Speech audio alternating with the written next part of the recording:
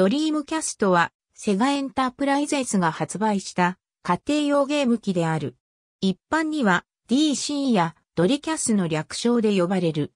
ソニーコンピュータエンタテインメントのプレイステーションに劣勢を強いられていたセガサターンの次世代機として社運をかけて開発され、1998年11月27日に日本国内で第6世代ゲーム機の先陣として発売された。最大の特徴としてインターネット通信用のアナログモデムを標準搭載した点が挙げられる。最高通信速度は日本国内向け純正品の場合 33.6kbps で本体からの着脱が可能だった。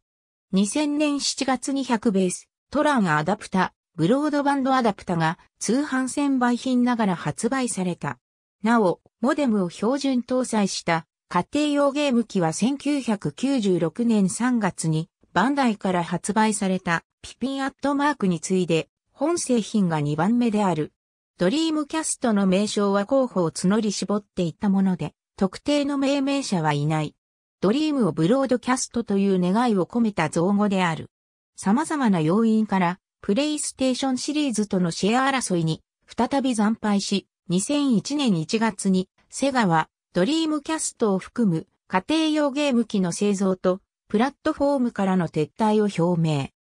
ドリームキャストは事実上、セガ最後のゲームプラットフォームとなったの竹崎忠は、ドリームキャストがセガ最後のハードですと発言している。なお、プラットフォームとしては撤退したが、メガドライブミニとしてゲーム交換ができないゲーム機を2019年に発売した。毎日新聞の報道では、家庭用ゲーム機の事業から撤退しており、約18年ぶりの再参入となるとしている。2018年6月5日には20周年記念ポータルサイトが開設された。真正面から見たドリームキャスト本体外見はセガサターンと比べて重箱のような正方形に近いアスペクト比で小型、軽量となっている。本体カラーはホワイトのみであるが、後に限定仕様でカラーバリエーションが展開された。ディスクドライブはトップローディング式でドア部分にシンボルマークがある。この渦巻きは地域によって配色が異なり、日本とアジア地域ではオレンジ、北米地域では赤、欧州などコンポジット信号にパルを採用している地域では青が使われている。本体新正面中心に背が、その右側には Windows CE のロゴがそれぞれプリントされている。ドア左側に電源ボタン、右側にオープンボタンがついており、電源が入ると、中心の三角形の部分がオレンジ色に光る。背面に1箇所、底面に3箇所、排熱用の通気口があり、右側にファンを備えた排熱口が設けられている。リセットボタンはついていないが後日のコントローラによるソフトウェアリセットで可能となる。接続端子はコントローラポートを4個装備し、コントローラーや周辺機器の同時接続が可能である。ただし、ポートを分配するマルチタップは存在せず、最大接続台数は4台までとなる。背面には AC 電源端子、映像出力端子、シリアル端子と本体出荷時にはモデムが装着されているエクステンションポートがある。ハードウェアは日立製作所が新開発した CPU SH-4 と A、ビデオロジェック社と日本電気半導体部門の共同開発によるグラフィック描画エンジンパワービハ2を採用し、3DCG 処理に特化したシンプルな設計になっている。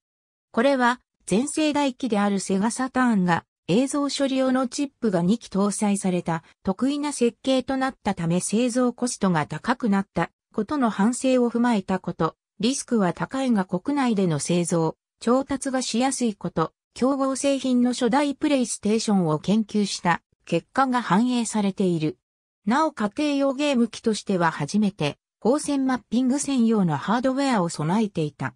マーケティング上の理由から雑誌媒体などで行われた128ビットのゲーム機というアピールは SH-4 内蔵のベクトル型不動小数点演算ユニットが32ビット不動小数点演算を4本同時に行えるため、32ビット4イコール128ビット相当ということで、サターンの64ビット級から続くお家芸である。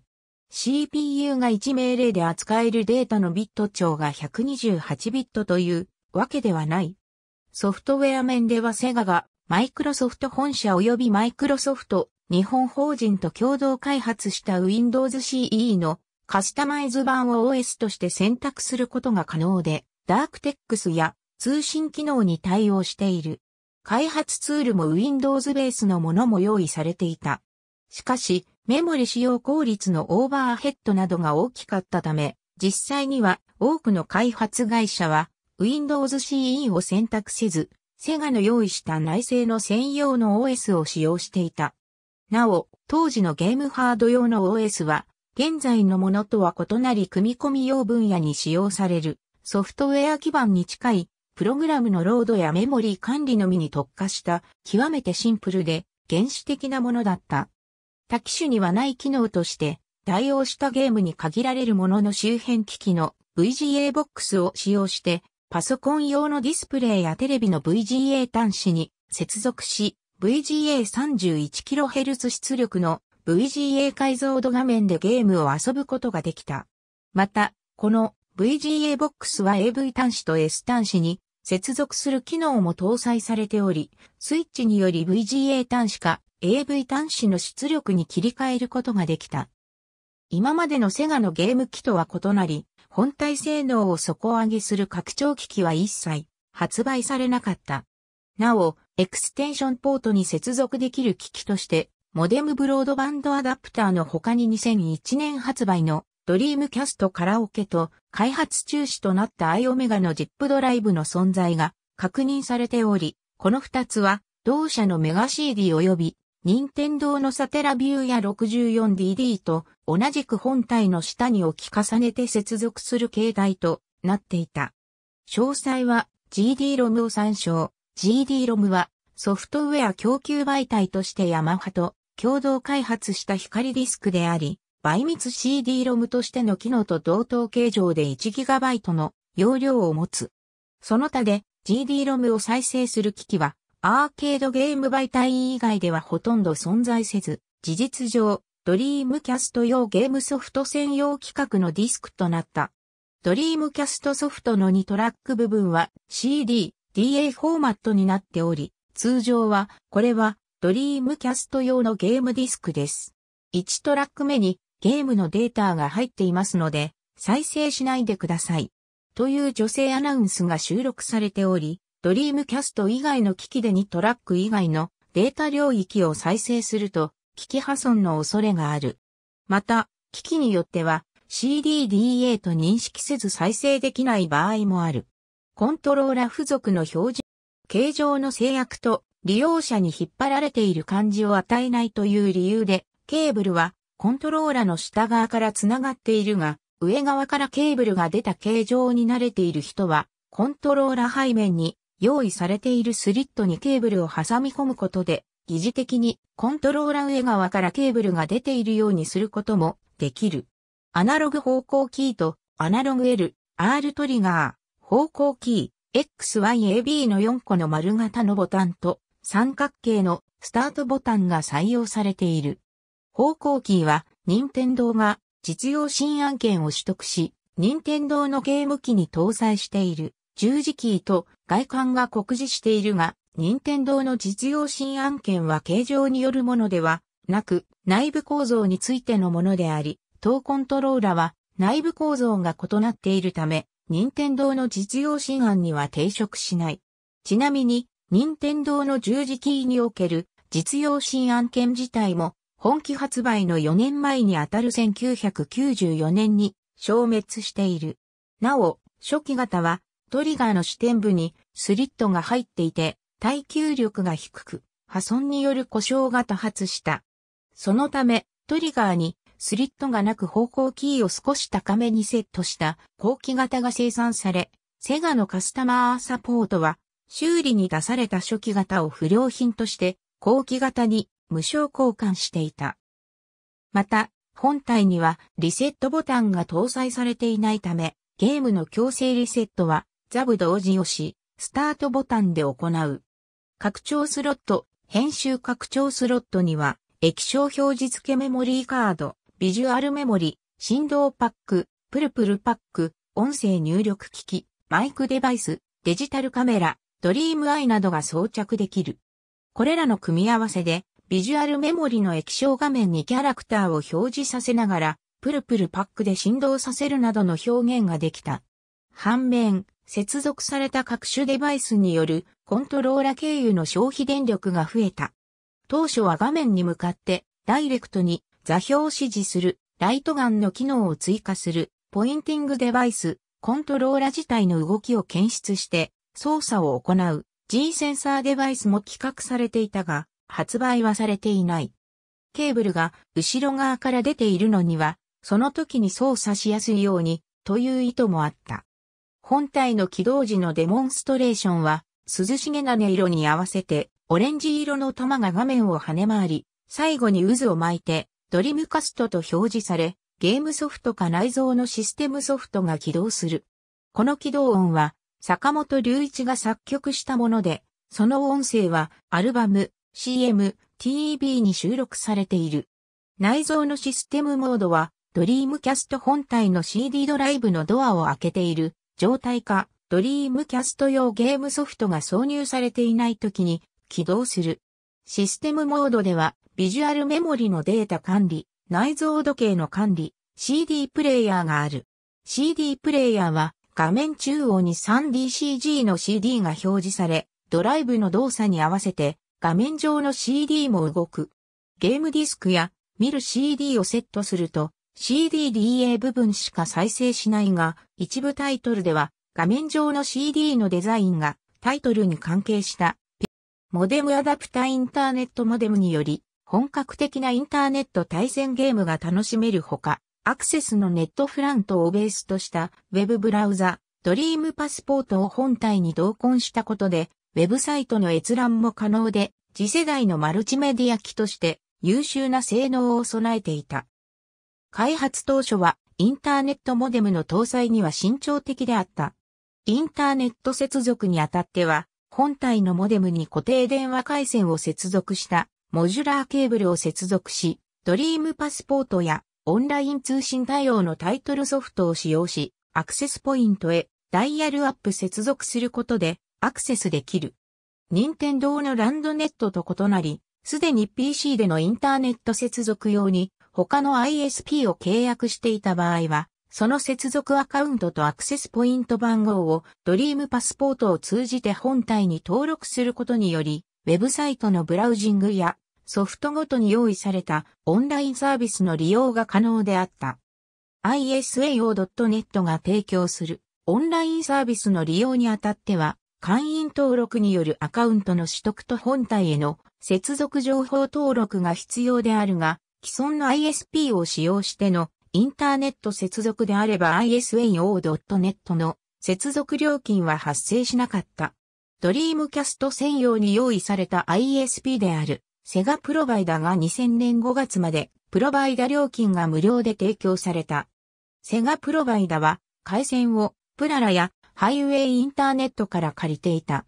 当初はアクセスポイントが大都市圏や県庁所在地などにしかなかったため、その他地域では遠方のアクセスポイントへ接続しなければならず、市外電話料金が高額になることも多かったが、その後アクセスポイントは各地方都市へも拡充されたため、この問題は解消されていった。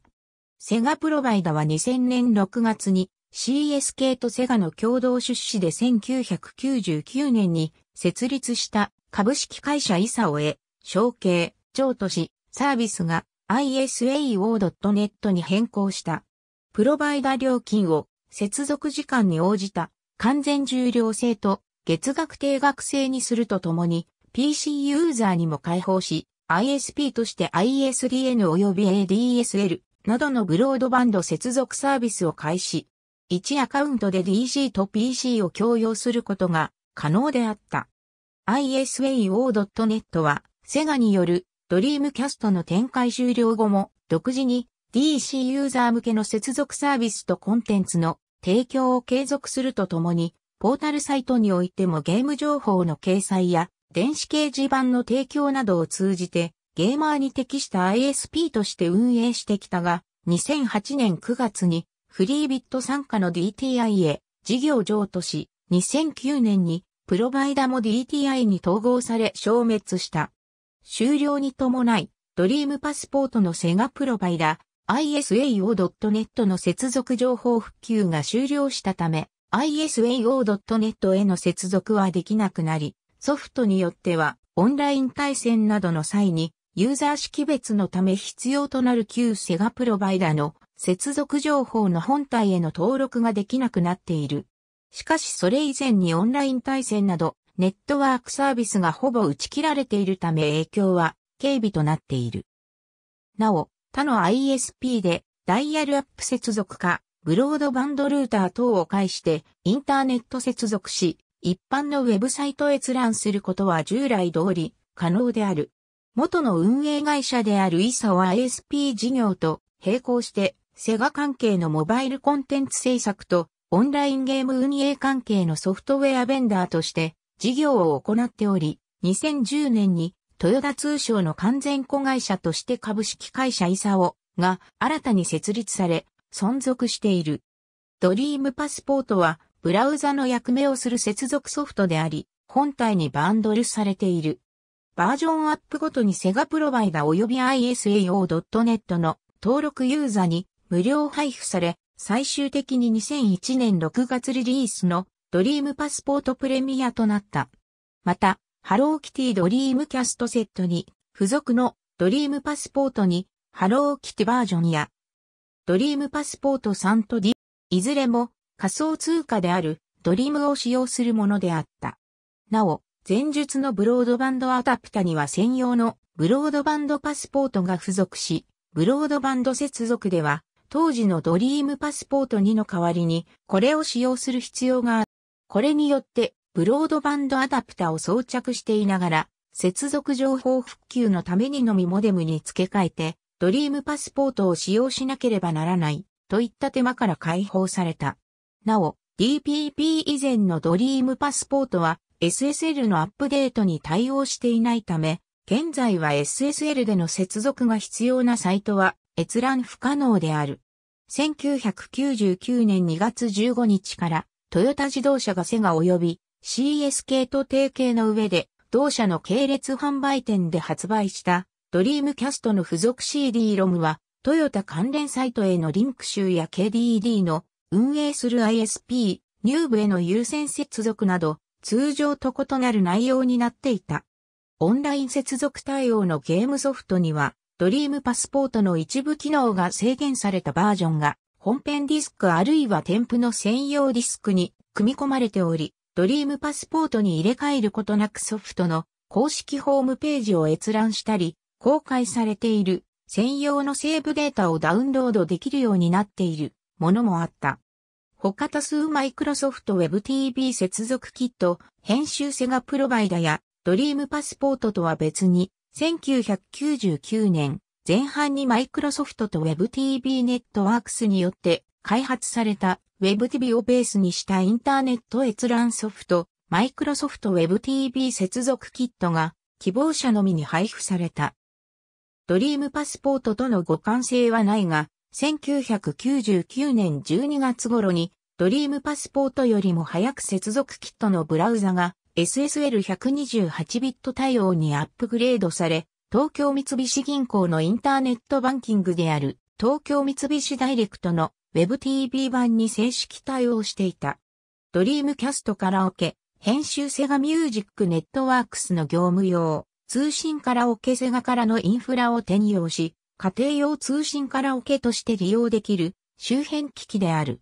ドリームキャストカラオケ本体はマイクミキサーの役割をし、カラオケ機能そのものは同梱ソフトのセガカラドリームキャストでソフトウェア処理する。商品としてドリームキャストカラオケ単体版と DC 本体をセットにしたセガカラホームがある。管理楽曲の演奏不可、 MIDI 音源が脆弱という弱点はあるが、新譜もプロローグ21とほぼ同じタイミングで配信され、タイトーの X-55 よりもコストが廉価であった。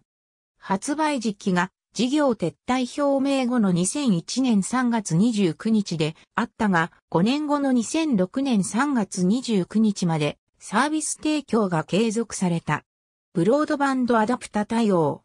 同系統の類似ソフトとしてカラオケジョイサウンドウィーがある。ドリームキャストの販売当時、一般向けインターネットといえば、ダイヤルアップの時代であり、ISDN や ADSL などのデジタル通信、常時接続は一部企業やインフラに採用されるに止まっていた。しかし1999年に入ると NTT 東西による一般家庭向けの ISDN による常時接続サービスが開始され、また8月には ADSL が試験的ながらも商用サービスを開始されるなど、インターネットの常時接続が急速に普及していった。それに伴いモデムと入れ替える形で接続する LAN、接続対応のドリームキャスト用のブロードバンドアダプタが2000年に販売された。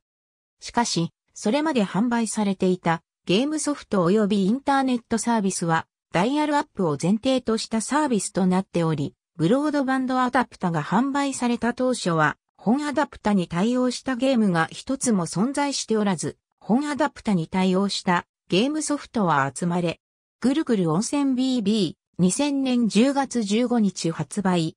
既存ゲームのリニューアル版の登場を待つこととなり、リニューアルではなく、本格的に対応を行ったゲームは、ファンタシースターオンラインの登場を待つこととなった。また、発売当初は、セガ公式のドリームライブラリーや、インターネットブラウザですら対応していないというありさまであった。その後販売されたゲームは、おおむねブロードバンドアダプタ対応となったものの、開発時期の都合から対応されていないものもあり、販売済みのゲームについても対応は取られなかった。また本アダプタと見る CD 機能を組み合わせることにより GD-ROM のバックアップが極めて簡単に高速で行えることが判明。その後ドリームキャスト本体を見る CD 非対応とするも、口述の通り2000年末にはドリームキャストの市場撤退が決定しており、根本的な対応が行われることはなかった。本アダプタはドリームキャスト本体の製造が終了した後も製造、販売が続けられたが、2002年4月の受注を最後に製造が打ち切られた。発売自体が2000年後半であること、前述のバックアップ問題や直後に本体の市場撤退が決定していること、対応ソフト登場の遅れから、流通量は絶対的に少ないまま歴史に幕を閉じることとなってしまった。生産当初のドリームキャストには、見る CD 再生機能が搭載されていた。見る CD とは、見る CD の意味で、メディアは通常の CD プレイヤーでは音楽 CD として再生できるほか、ドリームキャストで再生した場合には独自のコンテンツを視聴できるというものである。しかし、見る CD 対応メディア製品の発売は数種類にとどまった。見る CD の実装原理は CD エクストラと同一でマルチセッションディスクとなっており、1番目のセッションに音楽が2番目のセッションにデータが入っている。ドリームキャストは、この2番目のセッションを読み取って、独自のコンテンツを実現していた。しかし、一部ユーザーがこのデータ部分を利用し、ゲームデータを CDR にコピーしたディスクを動作させることに成功した。これは、コピーディスクを違法に流通させるきっかけとなった。そのため対策として、2000年12月28日以降に出荷された製品を見る CD 非対応とした。具体的にはメインボードのリビジョンを更新し、見る CD 機能を削除した。また、日本国外のユーザーを中心に、見る CD 機能を利用して自作ソフトを動作させる試みが存在した。自作ソフトには、リベックスプレイヤーや様々なゲームエミュレーターなどがあった。多数の非ライセンスの商業ベースや、いわゆる同人レベルの作品が開発、発表され、セガ側の思惑とは別にコアユーザーには浸透していた。ドリームキャストの PR では、大川勲会長が懇意にしていた、秋元康を宣伝プロデューサーに招聘。先代の瀬形三四郎人気を引き継ぐ形で、ゲーム機そのものよりも出演者のコミカルな演技など、インパクトを前面に押し出した様々な展開が図られた。宣伝広告費は、セガとしては空前規模の130億円を投じることになった。まずティーザー広告として1998年5月21日、22日に新聞での全面広告が打たれた。21日はセガは倒れたままなのかのコピーで戦国。このタイミングでの発売予告はワープの E の検事より開発中の D の食卓にを公開するにあたり対応ハードを公表したいとの要請を受けての発表であった。中継大阪日本橋 NTT など4カ所同年6月に、瀬川明、元を社外取締役に選任。6月19日に、湯川専務シリーズが開始され、小学生のグループが、セガなんて達成よな。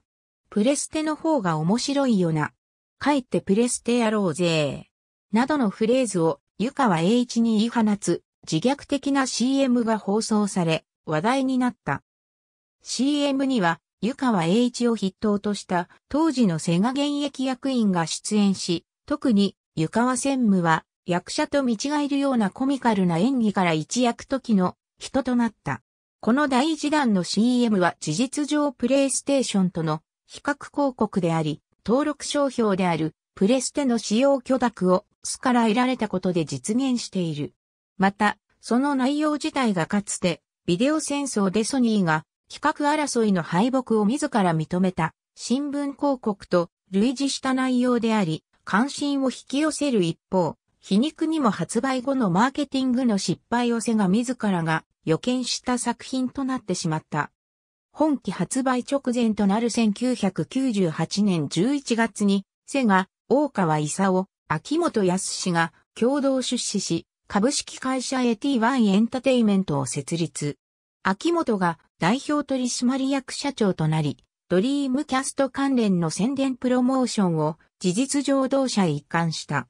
発売に前後して大抜擢大爆心といった同番組初のアイドルであるチェキ娘、出演番組の一社提供や発明ボーイカニパンシリーズに約1年間継続してスポンサードを行い、本期発売直前の11月25日には秋元のプロデュースで、湯川栄一が、湯川専務名義で日本コロンビアから企画版のシングル CD、ドリームカストをリリースした。本期発売前からマスコミに、湯川や秋元のインタビューを中心にドリームキャストが取り上げられるなど、社会的に話題を作り上げ、手こ入れを行った。11月27日の発売直後には、ジャニーズジュニアの滝沢秀明が湯川専務と共にリアカーで本気を売りさばく作品も放送された。湯川の執行役員常務への降格に伴い、湯川元専務シリーズとなり継続したが、1999年春、放映の8話で事実上打ち切られた。1999年6月の本体、希望小売価格値下げ発表後、新たに後藤義雄なる中年男性が出演し、コンパを盛り上げるシチュエーションの CM が放映されたが、後藤義雄の名前をアピールするだけの内容であり謎めいていた。同年11月3日には、後藤義雄と悪いお友達名義で、MCA ビクターから CM ソングを収録したシングル CD、僕の名前を知ってるかいが発売されている。後藤義雄は制作プロダクションジョイマンの代表者兼プロデューサーで、秋元康氏の知人という間柄だったことが明らかにされている。これ以降、本体のテレビ CM は制作されなくなり、テレビ CM はソフトタイトルのみとなる。ヨーロッパでは、イングランドプレミアリーグのアーセナル FC とリーグアンのエース・サンテティエンヌのスポンサーとなり、胸にドリムカストのロゴを入れていた。発売直前から2000年にかけてセガ提供のテレビ番組のクレジットは、セガではなく、ドリームカストだった。開発中のコードネームは、刀。名前の由来として、刀ではなく、刀は勘。というハード戦争の勝利への願いから来ているというのが、定説となっており、セガもこれは、誤りではないとしているが、実際は当時開発されていた、開発機2台の打ち方法が、コードネーム、ブラックベルト、つまり黒帯だったためその黒帯を切って勝つという意味を込めたものである。実際は1996年頃から開発が行われ、1997年に日本経済新聞が次世代機を開発している旨をスクープし、日立製作所の SH-4 がセガの次世代ゲーム機に搭載される旨も報じられ、セガサターン後継機の存在が明らかとなった。11月には、大川勲会長がマイクロソフトと開発中である旨のコメントを出した。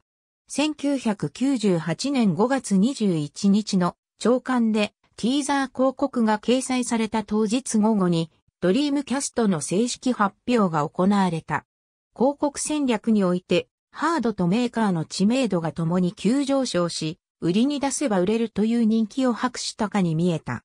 しかし、本体発売前から肝心の供給体制が整わないという懸案事項が生じていた。A、ビデオロジェック社と日本電気半導体部門が共同開発したグラフィックスチップパワービハー2の開発が予定よりも遅れたことが発端となり、ソフトウェアの開発に遅れが生じ始めた。さらにチップのぶどまりが向上せず、十分な量を確保できなかったことが致命的だった。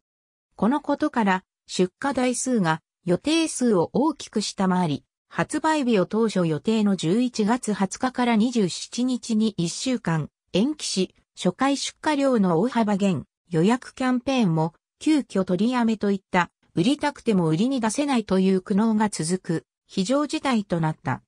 湯川専務の宣伝効果もあってか発売日にはドリームキャストが売り切れるほどだったという。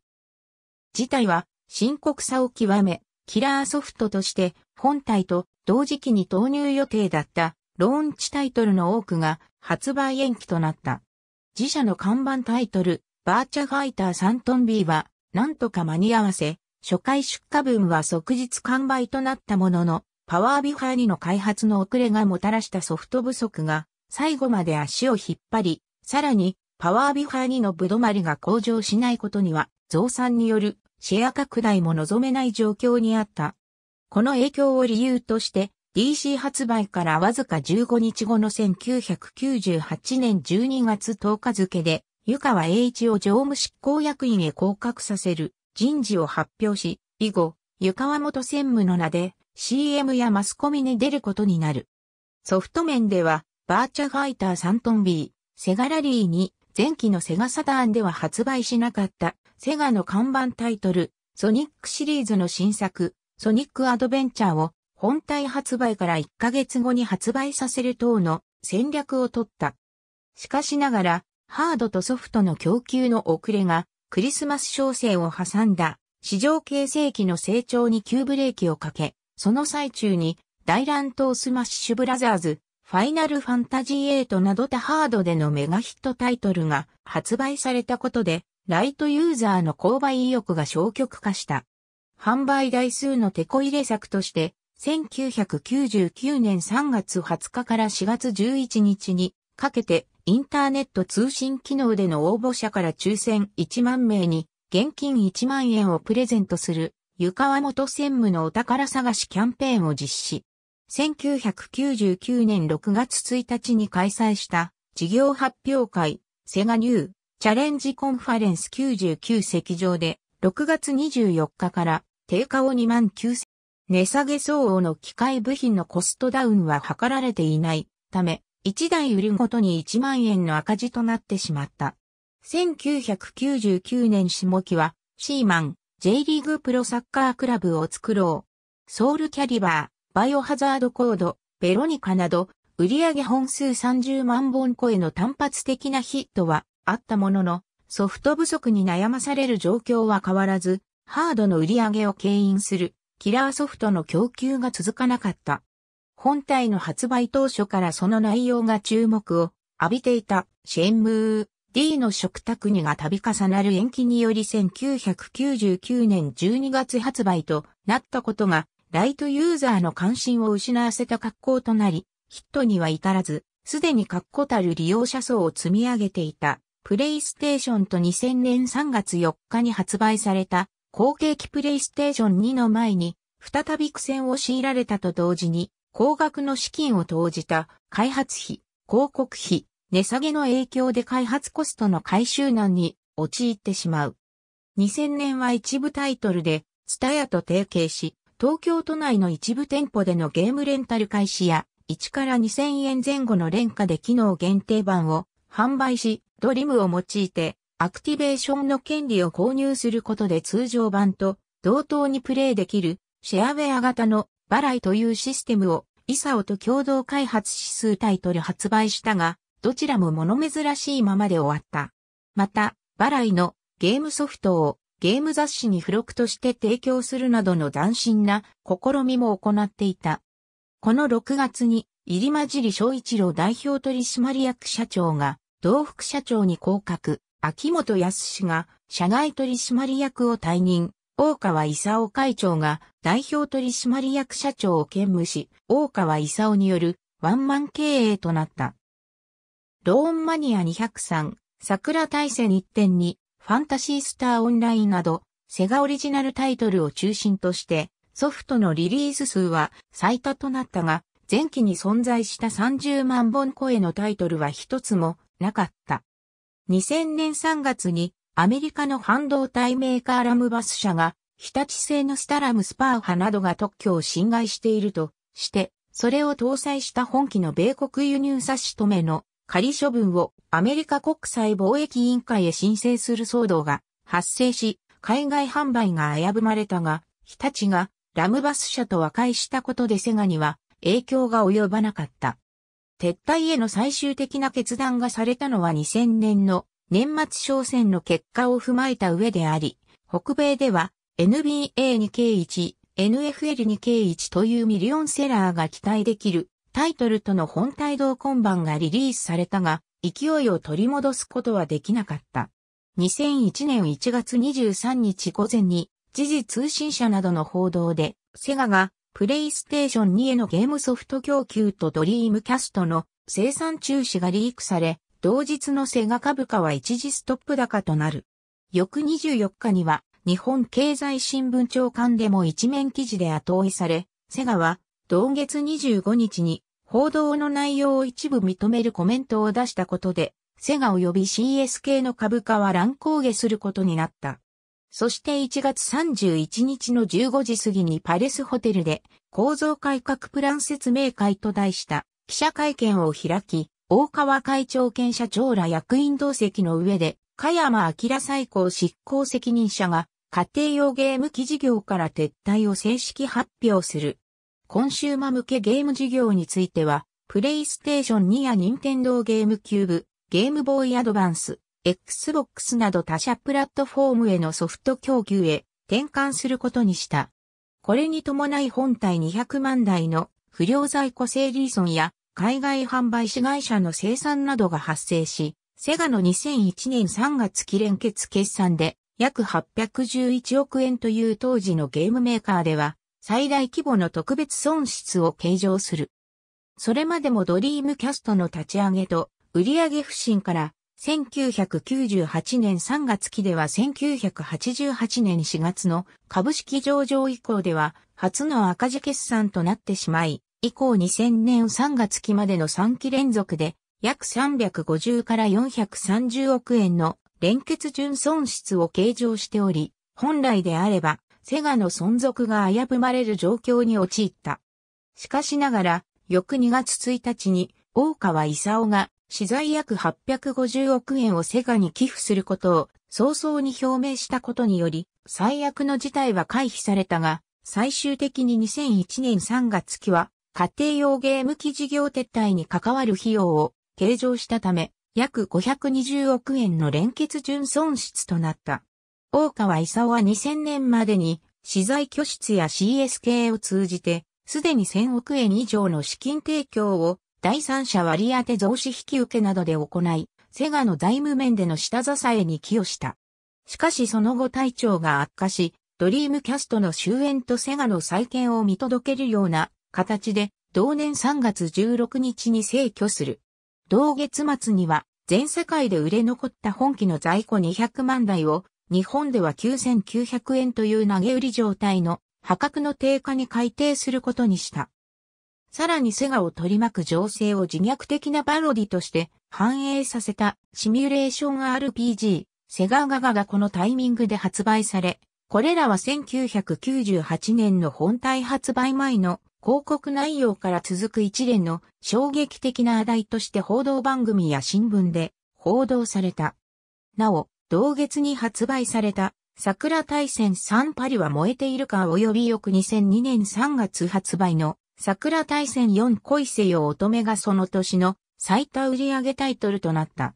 再値下げ後、日本市場では皮肉にも売れ行きが好調となったが、2002年前半には一度も優位に立つことなく、量販店のゲーム機売り場から姿を消した。2007年にこのドリームキャストを最後に、セガは家庭用ゲーム機の製造、販売事業から撤退し、家庭用ゲーム市場においては他社のゲーム機向けソフトの開発と販売に専念することとなる。家庭用ゲーム機としての役目をほぼ終えたが、そのアーキテクチャ自体は評価が高く、ほぼ同設計の業務用基盤、ナオミが長く現役であったほか、サミーの業務用基盤、アタミスウェイブにもその構造が転用され、こちらも北米等で長く活躍した。また、本体や周辺機器の製造が終了してからも2005年頃までは恋愛ゲーム中心にリリースが続いた。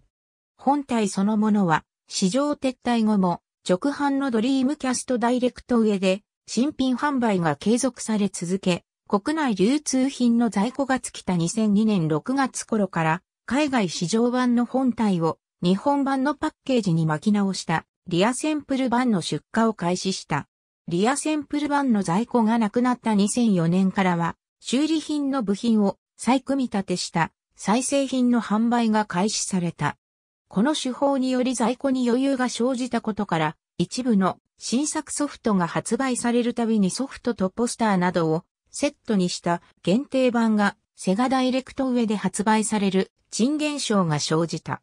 恋愛ゲームが発売されなくなった後も、ナオミ基盤で出たアーケード用、シューティングゲームの移植を中心に、年2本程度のペースで新規ソフトが発売されており、新規タイトルが発表になるたびに、ドリームキャスト最後のソフト登場と話題となる。2007年3月8日にドリームキャスト最後のソフトとなるカラスが発売。本体の発売から9年という長い歴史に終止符を打った。PSE 問題の影響により、中古品市場での本体の入手はかなり困難となることも懸念されたが、2006年4月以降も中古店で PSE マーク付きで販売されている。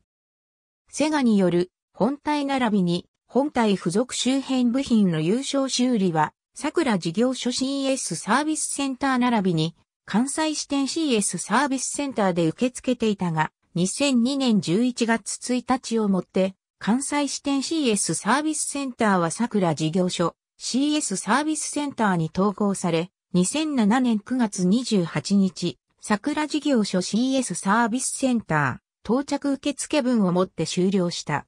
正規ライセンス品ソフトの発売が途絶えた後も、非正規ライセンス品のソフトが主に海外で制作され、続け、一部のソフトは商業的に流通ルートに乗っており、2012年現在日本国内のゲームショップなどでも購入ができる。2007年12月、セガオブアメリカがドリームカストの商標登録の更新を申請した。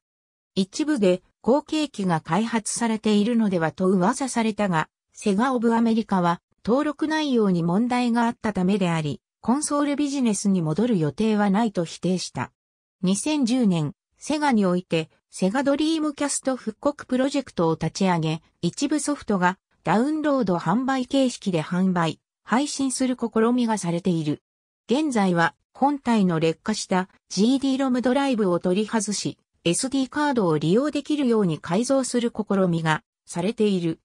プレイステーション2との勝敗を分けた要因としてソフトの広報互換性が挙げられる。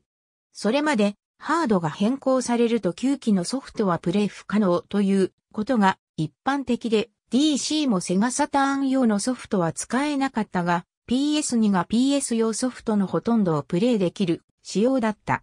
ドリームキャストに広報互換性を持たせなかったのはセガサターンが設計上、マルチプロセッサ機能を持っていたことに起因する。サターンと広報互換性を持たせようとすると処理チップ数が増加し、コストが高くなるという問題をはらんでいた。これには、セガは業務用、家庭用を問わずハード設計の際には、なるべく汎用 IC を使って設計するという方針や広報互換性を維持することで、サポートコストの増大や過去の負の遺産を引き継ぐことを嫌った。当時までのゲーム業界の慣習を引きずったことも影響している。すでに多くのサターンのソフトが PS へ移植されていたが、DC そのものにはキラーソフトが少なく、その一方でまだ市場が残っていたサターンへのソフト供給が途絶えてしまったことから、これを転機としたユーザ離れを引き起こすことになってしまった。セガサターンからドリームキャストの変更によるメーカー側の開発難航が供給低下の原因にあることも見逃すことができない。Windows と互換性があり、ソフトの制作のハードルは低かったものの、立ち上がりのつまずきがサードパーティーを消極的にし、ソフトメーカーの参入が伸びなかった。PS2 が商業的に成功した要因として PS 用ソフトのほとんどがそのままプレイできる広報互換性を有する上、コントローラのボタン数やデザインも従来通りだったため、PS から親しんできたユーザーにとっても何の抵抗もなくプレイできたことにある。また、セガサターン純正のコントローラは、後に同型のコントローラーパッドが PS2 用及びパソコン用で販売された経緯がある。それに慣れ親しんだユーザーにとっては、ドリームキャストの純正コントローラは非常に使いにくいものだった。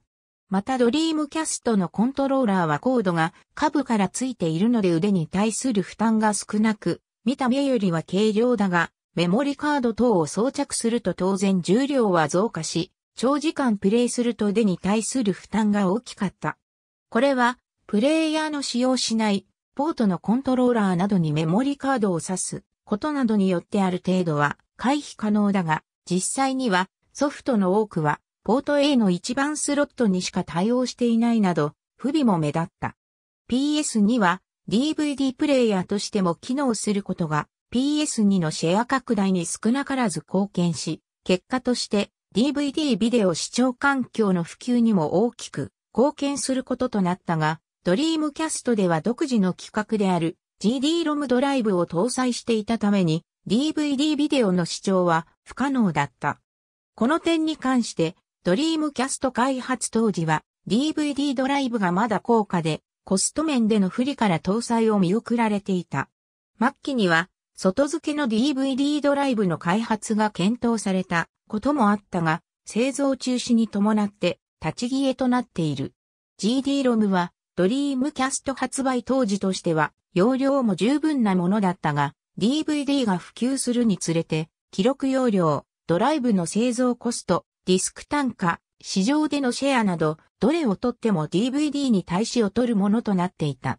しかし、GD-ROM に関しては、アーケードの名を見に互換性を持たせるための設計であり、開発、移植を容易にするという観点で、アーケード業界においては、成功を収めた。PS2 や Nintendo 64に対し優位に立つかに思えたインターネット機能の標準搭載も対応ゲームの少なさや発売の遅さ、深夜から朝のラッシュアワー限定で利用できるテレ放題以外の手段による通信料金定額の未整備ゆえに優位性が十分に発揮されないまま終わってしまった。ドリームキャスト発売当時は電話回線を使用したダイヤルアップ接続が主流であり、通信にかかる費用はユーザーにとって決して軽いものではなかった。しかも、日本の一般家庭でのインターネット接続環境は2000年以降、ブロード、後に販売された LAN アダプタに関しても当時の流通の主流であったゲームショップへの流通は後回しとなり、一般ユーザーには敷居の高い通販や代理店となった ISP からの購入を行うしか入手が行えなかった。またゲーム側でも LAN アダプタに対応を行う必要があり、少ないながら販売されていたネットワーク対応のゲームは LAN アダプタ環境ではプレイできず、当時のドリームパスポート3の売りとなっている CH、B トークやどこでもチャットも対応しておらず、チャットが行えないこと、当時唯一のメーカーによるゲームアーカイブシステムドリームライブラリも非対応となり、発売時点ではほとんど用途がないものであった。アクションゲームとして本格的に対応を行ったソフトの登場は、ファンタシースターオンラインとなるが、それまでは事実上、アークチャットを行うためだけの機能となっていた。アダプタ価格も1万円弱という高額設定であり、対応ゲームが存在しないことについては各メディアでも良い見解は持っていなかった。また、本、ランポートと見る CD を組み合わせることにより GD-ROM のデータが吸い出し、ゲームのバックアップや起動が行えることが判明し、流通が進まない一つの要因となった。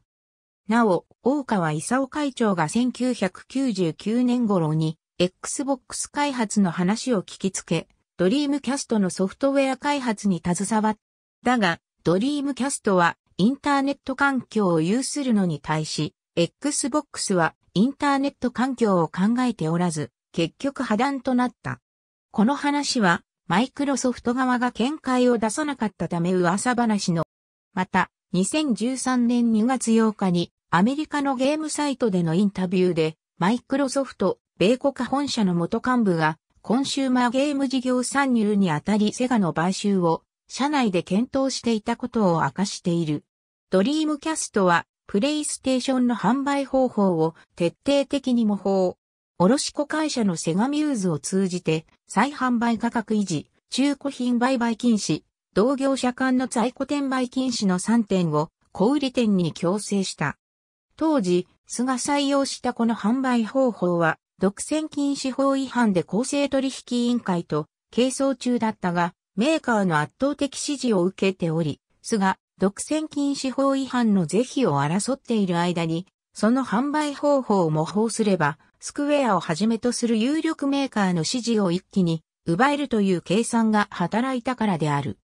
しかし1999年11月にセガに対しても独占禁止法違反容疑が表面化した。事件の処理に困った挙句2000年8月には、セガミューズの業務を本社に丸投げして、ペーパー会社化するという脱法行為ギリギリの方法で摘発を逃れて一部から批判を浴びた。トヨタ系列店1000倍モデル1999年2月発売。シーマンモデル、シーマンのロゴが入ったスケルトンモデル。シーマンのソフト、マイクデバイス、サウンドトラック CD などを同梱。限定500台。1999年7月発売。マジョーラカラーモデル500台限定。図色はアンドロメダ。平忠彦プロデュース。1999年8月発売。ハローキティドリームキャストセット。ハローキティのロゴが入ったスケルトンモデル。色は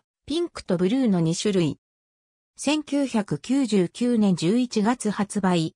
シーマンクリスマスモデル。シーマンのロゴが入った赤いクリスマス仕様の限定版。1999年12月発売。バイオハザードコード、ベロニカリミテッドボックスレッドスケルトン、ブルースケルトンの2種類。特別仕様、VM、ベロニカ初回限定版ソフト同梱。2000台限定。2000年2月発売。ドリームキャストダイレクト1000倍スーパーブラックモデル2000年8月発売。桜大戦、ドリームカスト4インターネット、桜大戦シリーズのタイアップモデル。本体一式とビジュアルメモリを桜色のカラー塗装とし、桜大戦、桜大戦に、桜大戦キネマトロン、桜大戦ドリームパスポート3の4ソフト、初回限定版にはさらに、桜大戦3のプロモーションディスクを同梱した。見る CD 非対応。2000年12月発売。セガからホームカラオケ用周辺機器、ドリームキャストカラオケを装着したモデル。見る CD 非対応。2001年3月発売。ドリームキャストダイレクト1000倍カラーモデルシルバー、メタリック、パールブルー、パールピンクの3色を発売。見る CD 非対応。14000円。2001年3月発売。ドリームキャスト R7、パチンコ店向けの端末として販売されていたものと同じ外観の限定モデル。黒字に R-7 と書かれている。2001年9月発売。ドリームキャストダイレクト1000倍カスタムドリームキャストミル CD 非対応。2002年4月発売。セガはミル CD 機能の悪用による違法コピー対策として2000年秋頃から出荷された製品をミル CD 非対応とした。具体的にはメインボードのリビジョンを更新し、ミル CD 機能を削除した。この厳密な時期は定かではないが、おおむね11月1日の社名変更のタイミングと重なっている。そのため、本体ケース底面に書かれている社名によって推測することができる。